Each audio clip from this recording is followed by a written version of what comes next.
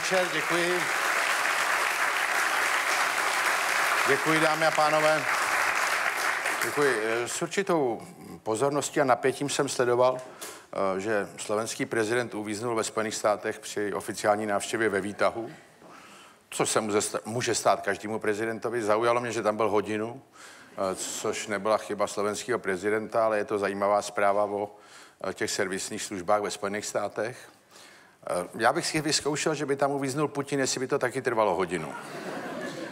Mohli bychom si z toho poměřit význam Slovenská a Ruska ve Spojených státech, ale možná by to nebyla tak dobrá zpráva. Na druhou stranu myslím si, že k něčemu to taky bylo, protože jak jsem čet, tak tam zůstal s ministrem zahraničí v tom výtahu, čili měli dost času na to si sjednotit zahraniční politiku. No a pak jsem si všimnul, že tady probíhá něco, co u nás už proběhlo, že možná se uh, zprivatizují noviny, jsme, že je koupí soukromý investor a tady ty novináři jsou z toho takový nervózní a ta společnost taky. Prosím vás, to my máme za sebou. A toho se vůbec nebojte, ty noviny se strašně zlepšejí potom. Eh, my už to teď máme. Chvilku to trvalo, měli jsme tam investigativní novinářku, tam měla pocit, že bude nezávislá, jak se to malinko vyměnilo a už je to lepší.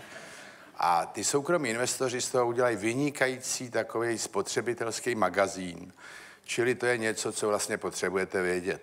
Ne ty pitomosti z politiky, ne nějaký zkoumání, kdo lže, krade a podobně, ale že jsou zlevněné ledničky, nebo jak se má žehlit, že někdo může žehlit pravou rukou, levák levou, že je dobrý, aby žehlička byla horká.